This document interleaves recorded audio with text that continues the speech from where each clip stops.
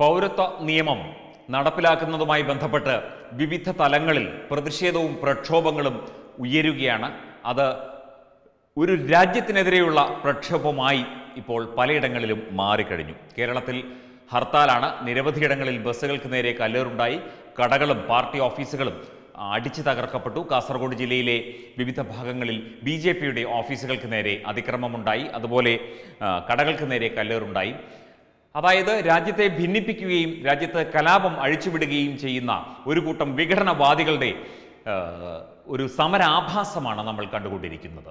ഇതിനിടയിൽ പ്രമുഖ നിയമജ്ഞർ ഈ പൗരത്വ നിയമത്തെക്കുറിച്ച് വിവിധ പ്രതികരണങ്ങൾ നടത്തിക്കൊണ്ടിരിക്കുന്നു. വിവിധ മാധ്യമങ്ങളിലൂടെയും അതുപോലെ സമൂഹ മാധ്യമങ്ങളിലും ഒക്കെ തന്നെ. ഇതിപ്പോൾ കേരള കൗമുദിയിൽ വന്ന അഡ്വക്കേറ്റ് ഗോവിന്ദ് കെ ഭരതൻ എന്ന ഹൈക്കോടതിയിലെ മുതിർന്ന അഭിഭാഷകന്റെ വളരെയധികം കാലത്തെ സർവീസുള്ള നിയമജ്ഞനാണ് അദ്ദേഹം. അദ്ദേഹത്തിന്റെ ഒരു ലേഖനമാണ് ഇപ്പോൾ ഈ വാർത്തയ്ക്ക് ആധാരം.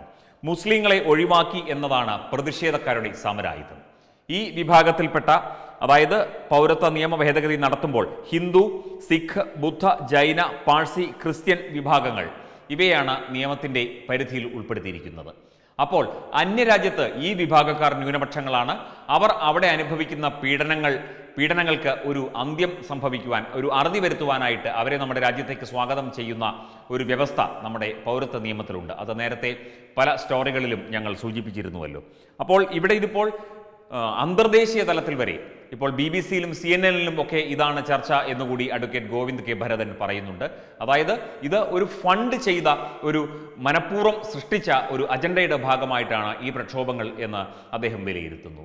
നിയമപരമായി എല്ലാ സാധുതകളും നിയമപരമായി രാജ്യത്തിന്റെ പുരോഗതിക്കും രാജ്യത്തിന്റെ ഐക്യത്തിനും വേണ്ട എല്ലാ ഘടകങ്ങളും ഈ പൗരത്വ നിയമത്തിൽ ഉണ്ട് എന്നിരിക്കെ ഇത് പ്രധാനമന്ത്രി മുസ്ലിം വിരുദ്ധനാണ് എന്ന് ചൂണ്ടിക്കാണിക്കുവാനായി മനഃപൂർവം കെട്ടിച്ചമയ്ക്കുവാനായി ചെയ്യുന്ന കഥകളാണ്. വെറും കെട്ടുകഥകൾ മാത്രമാണ് ഈ പ്രചരിക്കുന്നത് സമൂഹ മാധ്യമങ്ങളിലൂടെയും മാധ്യമങ്ങളിലൂടെയും എന്നും അഡ്വക്കേറ്റ് ഗോവിന്ദ് ഭരതൻ പറയുന്നു. ആരോപണങ്ങളുടെ മുര പലതായി ഒടിയുമ്പോൾ സമരത്തിന്റെ യഥാർത്ഥ കാരണം എന്താണെന്ന് കൂടി നമ്മൾ പരിശോധിക്കണമെന്ന് അദ്ദേഹം പറയുന്നു. പൗരത്വ ഭേദഗതി നിയമത്തിൽ എന്താണ് പറയുന്നതെന്ന് ആരും വായിച്ചു നോക്കുന്നില്ല. പകരം കുപ്രചരണങ്ങൾക്കും ഊഹാപോഹങ്ങൾക്കും കാതു കൊടുക്കുകയാണ്. ഇത് ഖേദകരമാണ്. മുസ്ലിങ്ങൾക്ക് എതിരാണ് നിയമം എന്ന തരത്തിൽ യു എസിൽ നിന്ന് പോലും പ്രതിഷേധം ഉയരുന്നു എന്ന് അദ്ദേഹം പറയുന്നു. അദ്ദേഹം ഈ ലേഖനത്തിന്റെ അവസാന ഘട്ടത്തിൽ പറയുന്നു ഹിന്ദുത്വം എന്നാൽ രാജ്യത്തിന്റെ സംസ്കാരവും ജീവിത രീതിയുമാണ് വസുധൈവ കുടുംബകം എന്ന തത്വത്തിൽ ഉറച്ചു നിൽക്കുന്ന സംസ്കാരമാണ് അത്. നമ്മുടെ രാജ്യത്തിന്റെ സാമ്പത്തിക വളർച്ചയ്ക്കൊപ്പം ആത്മീയ ശക്തിയും വളരുകയാണ്. ആത്മീയ ശക്തി വേണ്ട പകരം സാമ്പത്തികമായ വളർച്ചയാണ് പാശ്ചാത്യ രാജ്യങ്ങൾക്ക് വേണ്ടത്. അവർക്ക് വേണ്ടത് ഇന്ത്യയുടെ മാർക്കറ്റാണ് അപ്പോൾ ഇത്തരം ഒരു രാജ്യത്തെ വളർന്നു വരുന്ന ഒരു രാജ്യത്തെ തകർക്കുവാനുള്ള വിദേശ രാജ്യങ്ങളുടെ അജണ്ടയുടെ ഭാഗം കൂടിയാണ് ഇത്തരം സമരാഭാസങ്ങൾ ഇവിടെ അരങ്ങേറുന്നത്.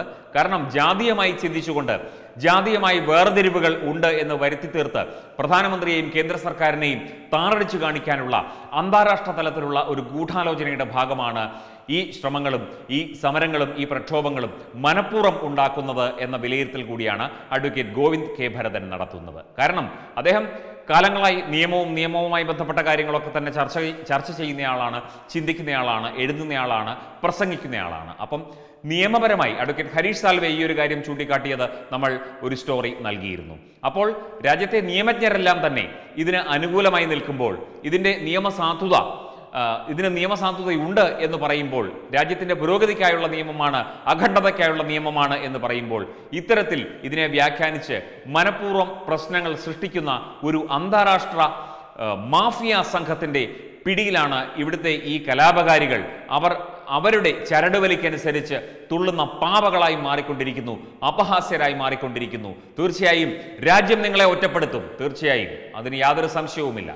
ഒരു രാജ്യത്തിനെതിരെയാണ് നിങ്ങൾ വാളെടുക്കുന്നത് നിങ്ങൾ തീ കൊളുത്തുന്നത്. ഇതൊന്നും സാധാരണ ജനങ്ങൾ ഇവിടുത്തെ യഥാർത്ഥ പൗരന്മാർ അതായത് ഈ വിഘടനവാദികളല്ലാതെ നിശബ്ദരായിരിക്കുന്ന പൗരന്മാർ നോക്കി നിൽക്കുകയില്ല. തീർച്ചയായും നിങ്ങൾ ഒറ്റപ്പെടും. കാരണം നിയമത്തിന്റെ പിന്തുണയോടുകൂടി ഒരു രാജ്യത്തിന്റെ ഐക്യത്തിനായി കൊണ്ടുവന്ന ഒരു നിയമത്തെയാണ് നിങ്ങൾ തള്ളിപ്പറയുന്നത്. ഇല്ലാത്ത കാരണങ്ങൾ ചൂണ്ടിക്കാട്ടി ഊഹാപോഹങ്ങൾ പ്രചരിപ്പിച്ചുകൊണ്ട്.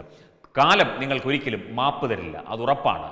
ഒരു കാലത്തിന്റെ നീതിയാണ് ഇവിടെ കേന്ദ്ര സർക്കാർ നടപ്പിലാക്കുന്നത്. അത് മനസ്സിലാക്കുക. കാലങ്ങളായി ഒരു സംഘം അനുഭവിക്കുന്ന വിവിധ രാജ്യങ്ങളിലായി ഒരു സംഘം അനുഭവിക്കുന്ന കൊടിയ പീഡനങ്ങൾ അറുതി വരുത്തുന്നതിനായി കൊണ്ടുവന്ന ഈ നിയമത്തെ ദയവായി നിങ്ങൾ അംഗീകരിക്കുക. പുച്ഛിച്ച് തള്ളാതിരിക്കുക പ്രക്ഷോഭങ്ങളുണ്ടാക്കി രാജ്യത്തെ അസ്ഥിരപ്പെടുത്താതിരിക്കുക. ഈ രാജ്യം നമ്മുടേതാണ്. അഖണ്ഡമായ നാനാത്വത്തിൽ ഏകത്വം പുലരുന്ന ഈ ഭാരതം ഇനിയും ബഹുദൂരം മുന്നോട്ട് പോകേണ്ടതുണ്ട്. അതിന് തടസ്സമായി നിങ്ങൾ നിൽക്കുകയാണെങ്കിൽ തീർച്ചയായും നിങ്ങൾ തൂത്തറിയപ്പെടും. വീണ്ടും ആവർത്തിക്കുന്നു നിങ്ങൾ ഒറ്റപ്പെടും. Web desk Tatwamayi news.